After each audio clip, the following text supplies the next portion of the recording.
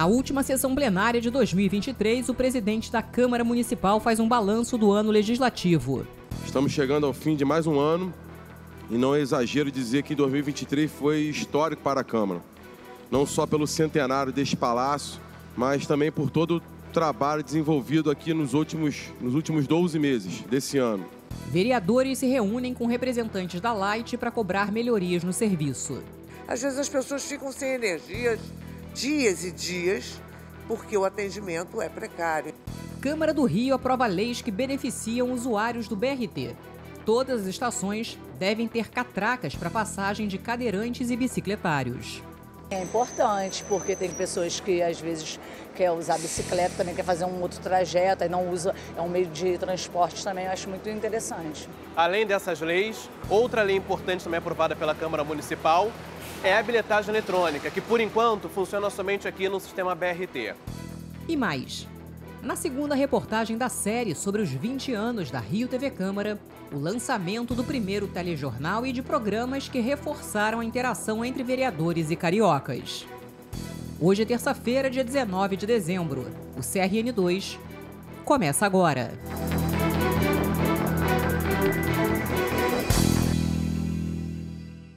Boa noite. Na última sessão plenária deste ano, os vereadores do Rio aprovaram a redação final do projeto de lei orçamentária para 2024 e do plano diretor. A sessão plenária extraordinária híbrida que marcou o encerramento dos trabalhos legislativos de 2023 foi presidida pelo vereador Carlo Caiado. Estamos chegando ao fim de mais um ano e não é exagero dizer que 2023 foi histórico para a Câmara. Não só pelo centenário deste palácio, que temos a honra de frequentar todos os dias, mas, e a população também, a oportunidade de estar aqui conosco, mas também por todo o trabalho desenvolvido aqui nos últimos, nos últimos 12 meses desse ano. Em seu discurso, o presidente da Câmara fez um balanço do ano destacando conquistas significativas. Entre elas, as leis aprovadas, como o Plano Diretor, o projeto Reviver Centro e a regulamentação da Lei da Publicidade Exterior. No âmbito legislativo, Fomos incansáveis na aprovação de medidas cruciais para a cidade. O destaque total foi para o plano diretor, uma legislação que estabelece o futuro pelos próximos 10 anos. Além disso, vamos destacar que Reviver 102, que foi aprovado, impulsionando ainda mais a revitalização desta área central central da vida é, tão vital para a nossa cidade. A regulamentação também da publicidade exterior, trazendo ordenamento, arrecadação e segurança jurídica para a cidade do Rio de Janeiro. Carlo Caiado agradeceu a todos os envolvidos, reconhecendo o empenho coletivo que possibilitou a concretização dessas iniciativas. Além disso, destacou leis que visam modernizar a Câmara evidenciando orgulho pela conquista do selo diamante pelo segundo ano consecutivo, um testemunho do comprometimento com a excelência legislativa. Recebemos o selo diamante da Associação dos Tribunais de Contas como a instituição é, pública mais transparente em diversos órgãos analisados em todo o estado do Rio de Janeiro. Economizamos e doamos para a saúde dos cariocas, somente nesse ano, mais 50, 50 milhões de reais totalizando nos últimos três anos 300 milhões de reais. Na sequência, o presidente anunciou a exibição do vídeo institucional com os principais destaques do Parlamento Carioca esse ano. De janeiro a dezembro, mais de mil projetos foram apresentados. Mais de 450 novas leis aprovadas. Sempre com muita discussão, debate e participação popular. A sessão continuou com a aprovação da redação final de dois projetos de lei complementar importantes: o da Lei do Orçamento para 2024 e o do Plano Diretor. Eles aguardam a análise e sanção do prefeito. Em seguida, o ano legislativo foi oficialmente encerrado. As bandeiras do Brasil e da cidade do Rio foram arriadas ao som do hino nacional.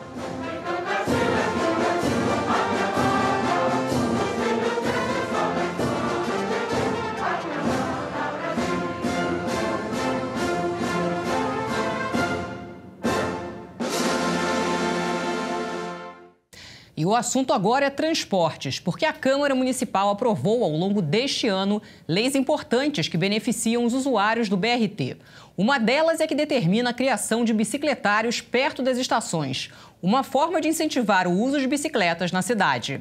No começo do mês, novos articulados foram entregues à população e combater o vandalismo nas estações e nos ônibus é um dos principais desafios das autoridades de segurança.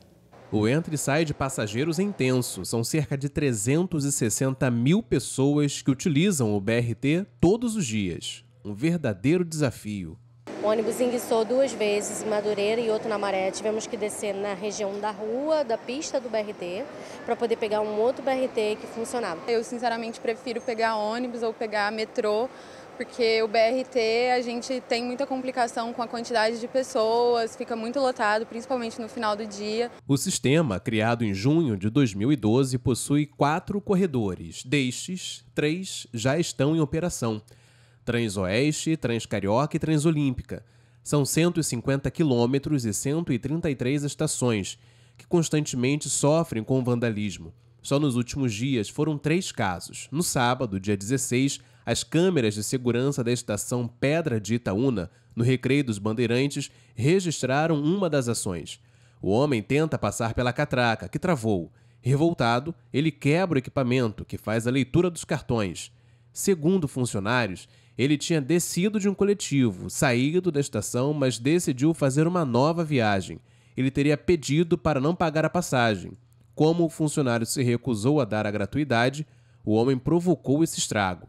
Ele foi localizado na estação Salvador Allende, de lá, levado para a delegacia da Barra da Tijuca. No domingo, dia 17, mais um flagrante, desta vez na estação Recreio dos Bandeirantes. Repare que o homem chuta um dos ônibus articulados. O veículo entrou em circulação no começo de dezembro, quando o sistema teve estações, calhas e ônibus renovados. Tudo com dinheiro de empréstimos aprovados pelos vereadores do Rio, o último projeto de decreto legislativo autorizou que a prefeitura pegasse um empréstimo junto à Caixa Econômica Federal no valor de quase 800 milhões de reais.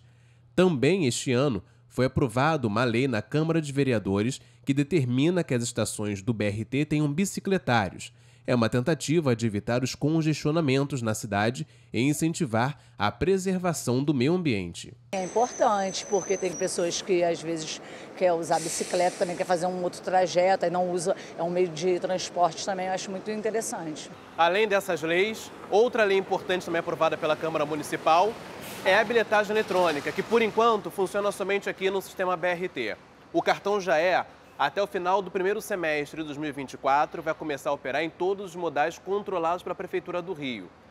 Com o novo cartão, a promessa é que a bilhetagem eletrônica da cidade passe a ter mais transparência, tirando da mão das empresas o controle sobre a tarifa de ônibus, além também dos saldos remanescentes, que a partir de agora devem ir direto para o Fundo de Mobilidade Sustentável.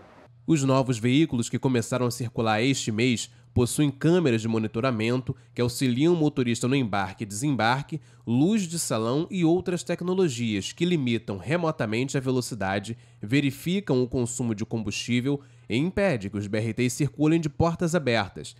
Esta passageira provou os amarelinhos. Está com um conforto maior, né? E com os aparelhos de ar-condicionado funcionando, por mais que estejam numa onda de calor excessiva, né? Mas estão bem melhores do que antes. O quarto e último corredor do BRT, o Transbrasil, deve começar a operar de forma parcial na primeira metade de janeiro de 2024. Serão mais sete estações quando o corredor estiver funcionando totalmente. Olá, pessoal. Essa terça-feira foi mais um dia de tempo estável aqui na cidade do Rio, sem registro de chuva variação de nebulosidade, céu claro parcialmente nublado, e a máxima registrada foi de 34 graus na estação de Irajá. Para essa noite e também para amanhã, quarta-feira, permanece a previsão de tempo estável, variação de nebulosidade, ventos fracos a moderados, sem previsão de chuva. E para amanhã, a máxima prevista é de 35 graus. Se vocês querem saber mais sobre a previsão do tempo e as atualizações em tempo real, sigam as nossas redes e baixem o aplicativo do COP.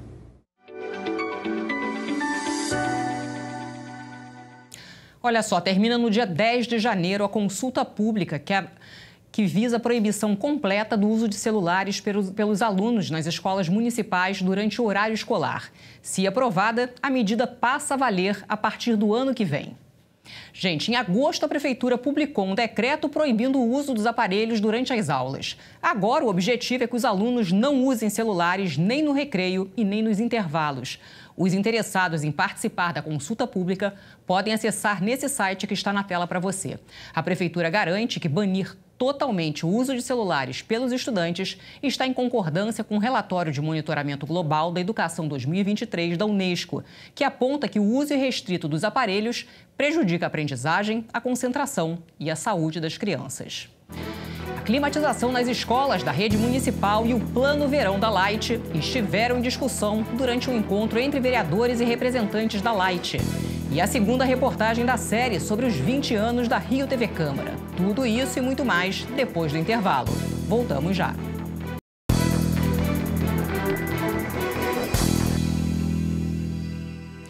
O CRN2 está de volta com informações sobre uma reunião entre representantes da Light e vereadores que aconteceu nesta terça-feira. O pedido partiu da Câmara Municipal, que quer saber quais são os planos de atendimento da concessionária de energia para o verão.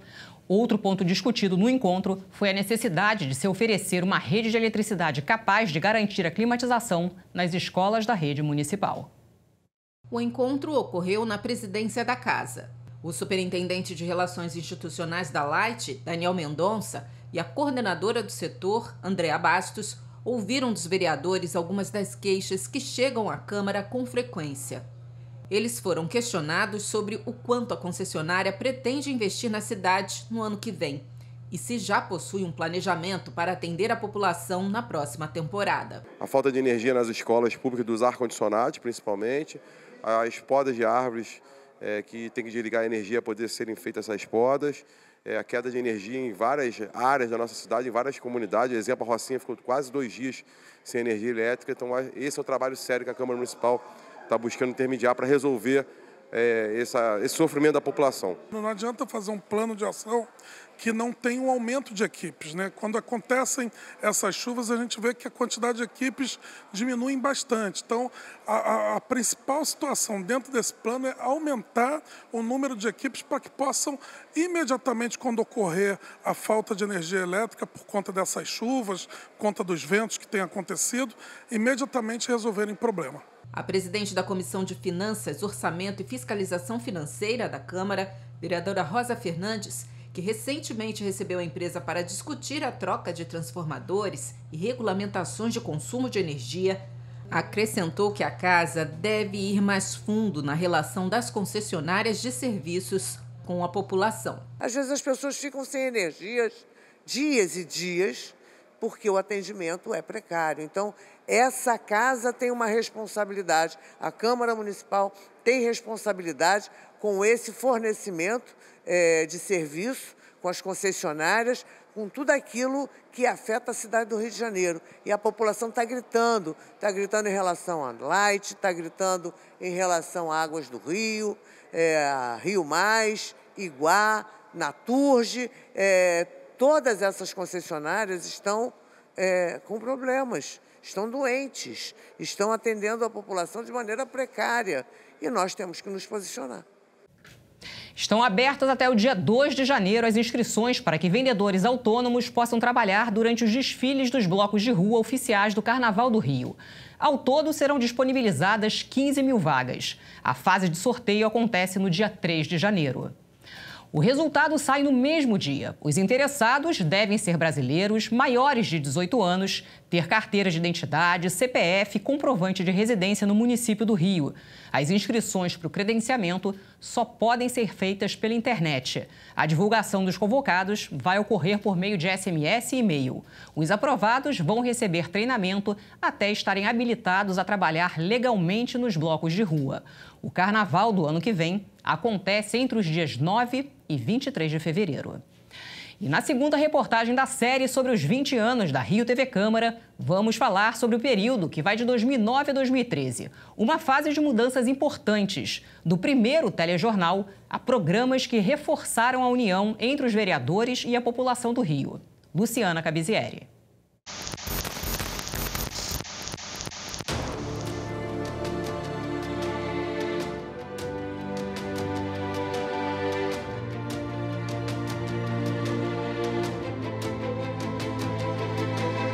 Senhores vereadores que aprovam permaneçam como estão. O ano era 2009. O parlamento carioca estava na sua nona legislatura. Na época, a programação da Rio TV Câmara era veiculada no canal 12 da TV por assinatura. No ar, coberturas das atividades parlamentares exibidas no jornal Acontece no Rio e programas com a participação popular. Dá oportunidade para as pessoas que não têm experiência. Eu fui secretário de Trabalho e Emprego e entendo bem desse tema. Um dos destaques da cobertura nesse período foi a votação do projeto de lei que criou o plano de cargos, carreiras e salários dos profissionais da educação em 2013. A proposta foi aprovada no plenário da Câmara. Foram 37 votos favoráveis e apenas três contrários. E eu estava aqui. Durante o horário destinado ao grande expediente, os profissionais da área da educação que ocupavam as galerias invadiram o plenário e a sessão foi suspensa. Uma nova sessão foi convocada para a próxima terça-feira. A maior parte da programação da emissora era gravada. No programa Tipos do Rio, personagens da cidade mostravam a criatividade dos cariocas. Tem pessoas que não acreditam, não. Eu nem ligo. Porque tem pessoas que não acreditam nem em Deus.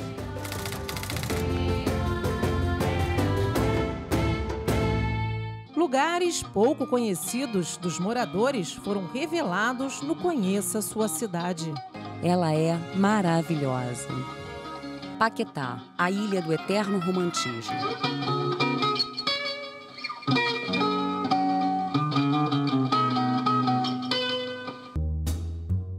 Programa Detetive dos Bairros desvendava mistérios e curiosidades. Você sabia que Piedade foi o primeiro bairro a receber energia elétrica? Já ouviu falar da tragédia de Piedade?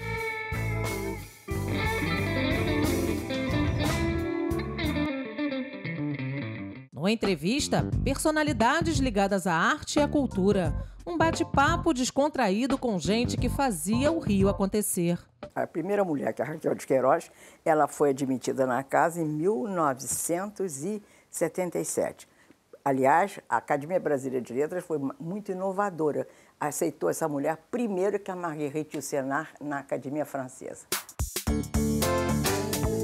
Já o Rio TV Debate, que até hoje aborda temas relevantes para a cidade, na época era apresentado ao vivo, às segundas-feiras, com a participação dos telespectadores. Com isso, vai ter uma renovação na Câmara dos Vereadores e essa equipe aqui bacana vai estar entrando. A transparência sempre foi a marca das coberturas. Desde aquela época, nossas equipes acompanhavam o trabalho das comissões da Câmara. E esse trabalho é muito profícuo, muito importante, a troca de experiência com outras cidades.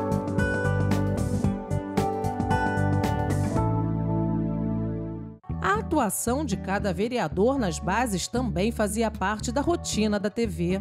O atendimento né, dentro das comunidades, o atendimento no próprio gabinete, isso me trouxe uma experiência muito grande.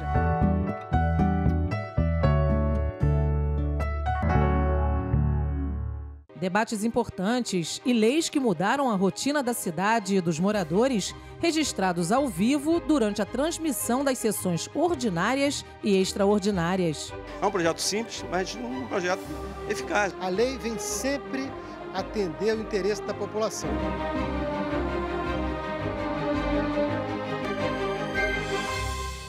A história de cada vereador era contada no programa Perfil e marcava a abertura e o encerramento da programação diária. Eu achei que estava na hora de dar a minha contribuição para a cidade do Rio de Janeiro, uma cidade que eu adoro, que eu adotei. Foram cinco anos destinados a cumprir o propósito de construir uma identidade própria para a TV, uma emissora pautada pela democracia, um lugar para todos se manifestarem dos vereadores à população, passando por autoridades e organismos representativos da sociedade civil, com o objetivo de atingir diferentes públicos dentro das várias camadas da realidade do Rio.